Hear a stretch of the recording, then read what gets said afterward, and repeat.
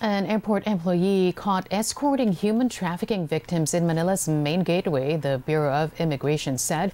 The employee at the NAIA Terminal 3 accompanied three passengers who attempted to depart for Dubai in the United Arab Emirates last December 22. The victims claim they were recruited as household workers through Facebook. The Interagency Council Against Trafficking is digging deeper into the incident. It's the latest controversy involving airport personnel at the NAIA. In the past, some of the employees were caught stealing cash and other valuables of passengers. Filipino workers in Taiwan set to receive a pay hike next year. Meanwhile, more Filipino workers are in demand in Japan and South Korea. Zen Hernandez tells us more. Overseas Filipino workers in Taiwan are expected to benefit from a new minimum wage law that not only affirms a recent wage increase, but also formalizes and enhances minimum wage adjustment procedures. For factory worker Federico Gonzalez, who had to work on Christmas Day, this is very welcome news. Joyful kasi syempre, every year dito sa Taiwan, masaya kami kasi every year nagtataas ng salary dito. Uh, kahit pa paano nadadagdagan yung salary na in-expect namin Starting January 1, 2024, the new minimum wage in Taiwan will become 27,470 new Taiwan dollars, or over 46,000 pesos, after an increase of over 1,000 NT.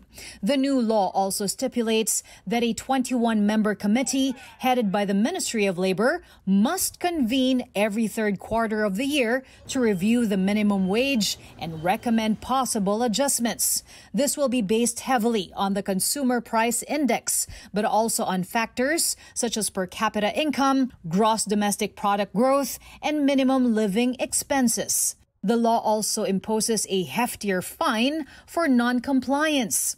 Manila Economic and Cultural Office Chairman Silvestre Bello III lauded the initiative, which is beneficial to all workers, including Filipinos.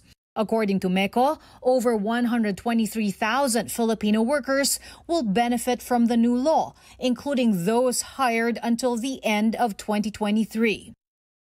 Aside from Taiwan, more opportunities are also expected to open up for Filipinos in Japan as the Department of Migrant Workers launched its Japan desk in Tokyo and Osaka. The Japan desk was an idea by the late Secretary Susan Ople, who wanted a more streamlined facilitation of employment for Filipinos. Marami na ho kaming uh, natatanggap ng mga requests from the delegations in Japan. Uh, nakikita po nila talaga na ang Pilipino, uh, ang Pilipino ay seryoso pagdating sa um, hindi lamang po sa pagtatrabaho, no? But doon sa pagtatrabaho sa Japan.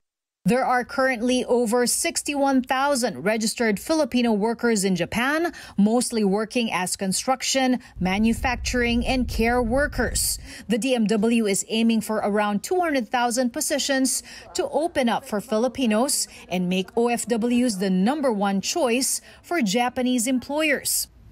Aside from Japan, the DMW is also in talks with South Korea for a pilot program on the deployment of Filipino care workers. Applicants are once again reminded, however, to deal only with licensed recruitment agencies and go through the legal process. The DMW may be reached through their official website and social media accounts.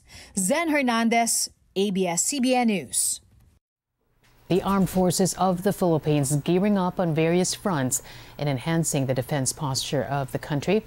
Colonel Medel Aguilar says while government is putting a premium on boosting maritime security due to China's aggression, the AFP's modernization will also focus on enhancing cybersecurity.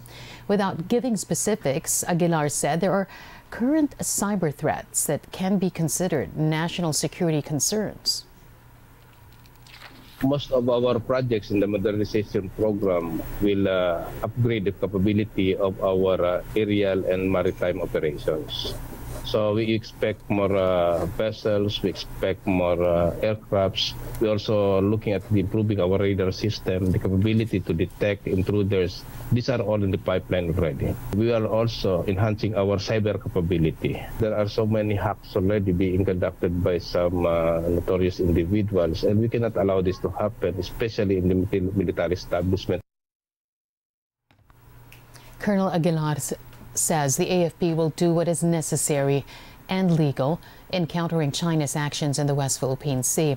This as Beijing continues to accuse Manila of deliberately provoking China and infringing on its sovereignty. The AFP also preparing for possible retaliatory attacks by rebels after a Christmas Day clash in Bukidnon. Ten rebels were killed in that encounter, which took place even after the Communist Party declared a two-day unilateral truce. The AFP insists that declaration was meaningless. It adds while the Philippine government and the National Democratic Front agreed to hold exploratory talks for possible peace negotiations, the military will continue to pursue remaining armed groups we are always ready for any eventuality, for any hostility that may be launched by any armed group. And uh, right now, uh, when you talk about the CPP and PA, uh, they are on the run. Uh, when you talk about the encounter in uh, Bukidnon, you will see that uh, the casualties there could be coming from the members of this Sub-Regional Committee 2 of the, of the North Central Mindanao Revolutionary Committee and its uh, armed group. So therefore, uh, we are already attacking the leadership, uh, the, the top leadership of the CPP-NPA in that particular region.